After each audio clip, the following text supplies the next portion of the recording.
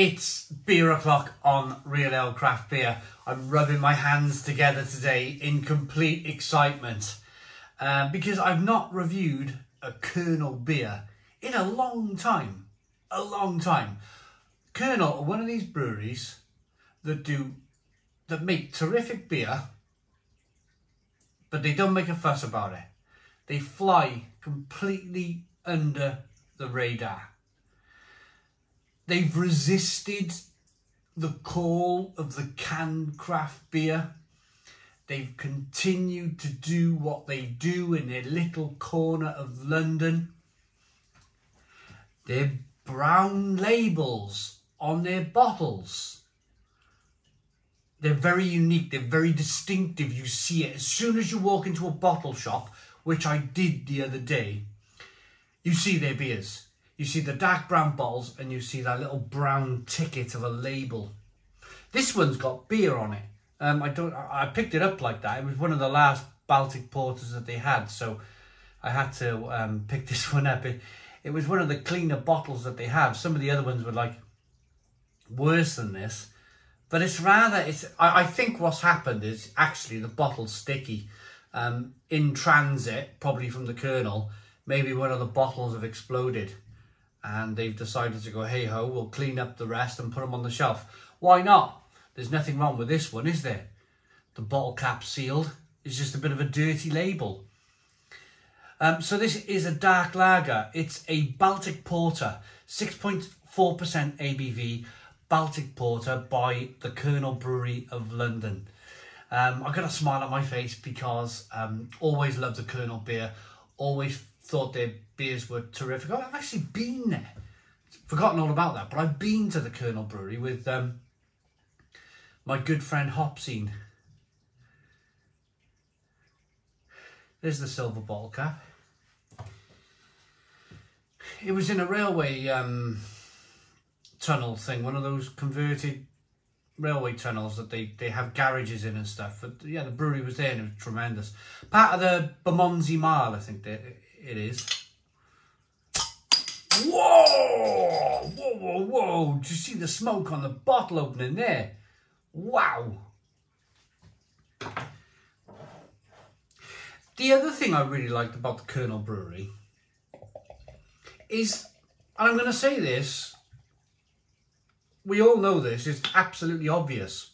London is the most expensive place to live in the whole of the UK. It's a very expensive part of the world. This brewery are based in London. I'm pretty sure their rents are higher than most other breweries in the UK because, of course, they're based in London. Yet, yet, even with their overheads, even with their kind of higher overheads, the cost of a kernel beer compared to a cost of something like a, a, a Deya here or a duration or a track or a beak is cheaper. It's cheaper. So this uh, kernel, so let me give you a couple of examples. Um, some of the big beers were £5.65. Um, some of the Deya beers were £5.45 and the duration was £5.65. The Kernel Baltic Porter was £3.35.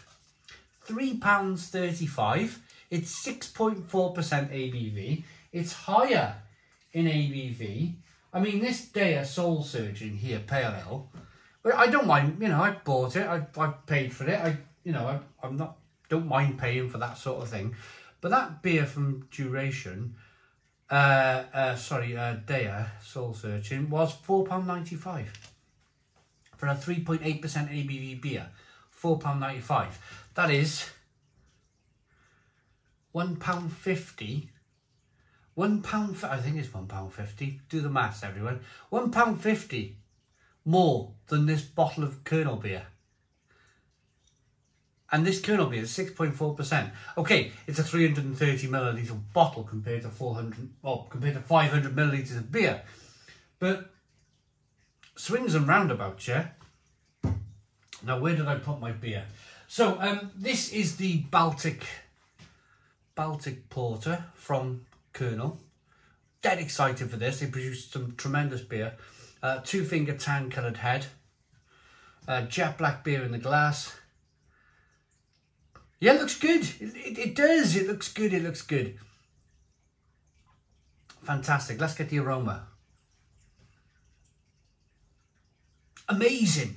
Absolutely amazing. Roasty, toasty, roasted malt, a little bit of raisin, a little bit of Bovril gravy, pipe tobacco smoke, bitter dark chocolate, again, coffee flavours coming through. And it's a dark lager. It's a dark lager. wow. Let's dive in. Cheers, everyone.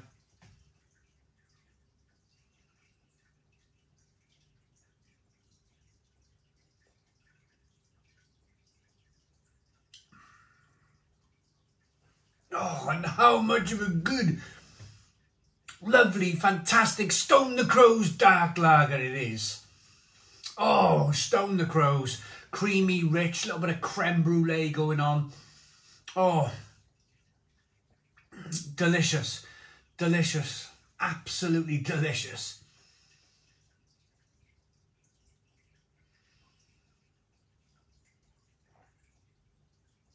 Creamy, rich mouthfeel.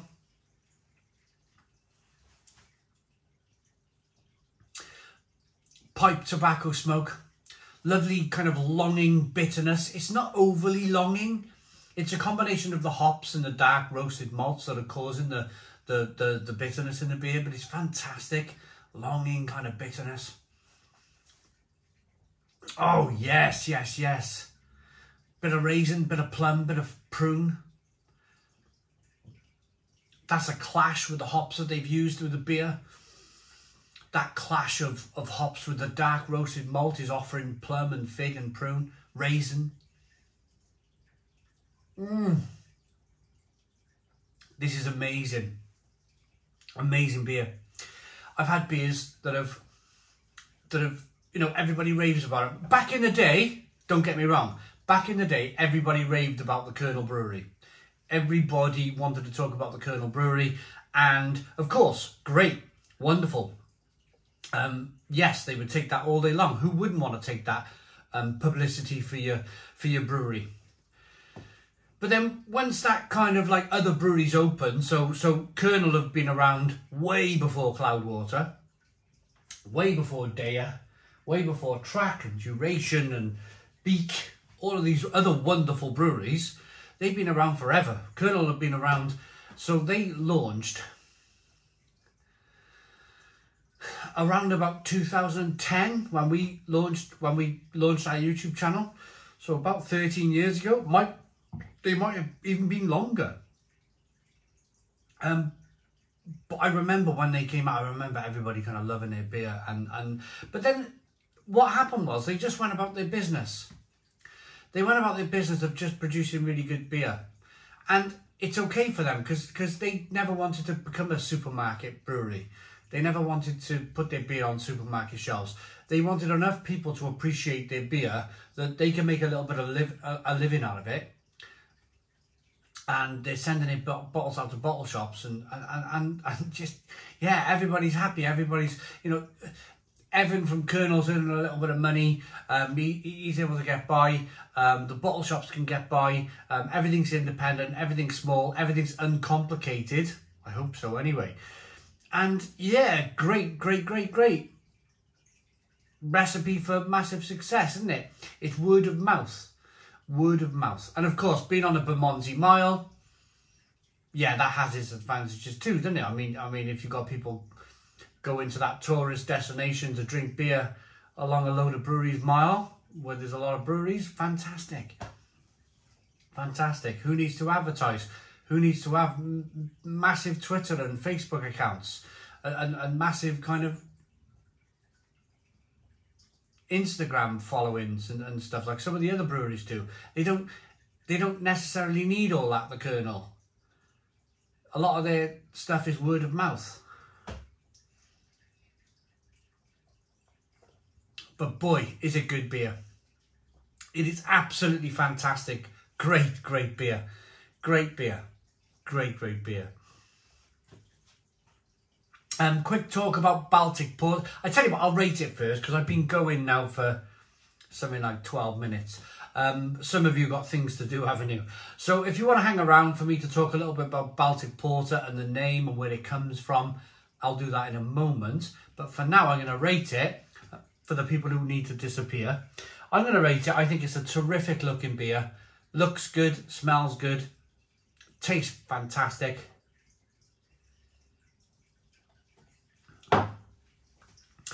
That is one of the nicest Baltic porters I've ever tried. And I've been to Zivich, where they produce the Zivich Baltic Porter. I've been to the brewery in the cellars, drinking it straight from the blooming iron fermenters. Drunk it straight from there. And this is a better beer. This Kernel Baltic Porter is a better beer. Um, it's a 10 out of 10. 10 out of 10 beer from Real Ale Craft Beer. To all the people who have to disappear, thank you very much for, for me to talk about Baltic Porter now, I'll do it very quickly. Um, so, Baltic Porter, um, they produced, the UK was had had a great uh, affair, not an affair, a, a business kind of affair with, with, with Russia. And we would do our business affairs back in the day by trading with Russia over the Baltic Sea. But the problem with trading over the Baltic Sea was in the winter, everything would freeze. It was freezing cold. Everything was freeze. So, so um, we had a relationship with a uh, a fantastic queen. There, I can't remember the name of the queen. She was a queen of Russia, and she liked our British porters. We, London back in the day was fantastically famous all over the world for producing London porter. Never mind Guinness. Never mind Guinness London Porter, way, way back, hundreds of years ago. It was brewed for the porter men who were porters. They would they would have little sack trucks and they'd be running through London with their sack trucks through the narrow lanes before the Great Fire of London burns everything down. They they would they would shoot through all the lanes and small alleyways with their with their trucks, sack trucks, and deliver stuff all around London. And of course, that was a pretty hefty thing to do. That was difficult to do. So um, they needed a drink to nourish themselves. Bit like the French farmers with their saisons, nourishing. The farm owner would nourish their farm workers with, with a beer called a saison.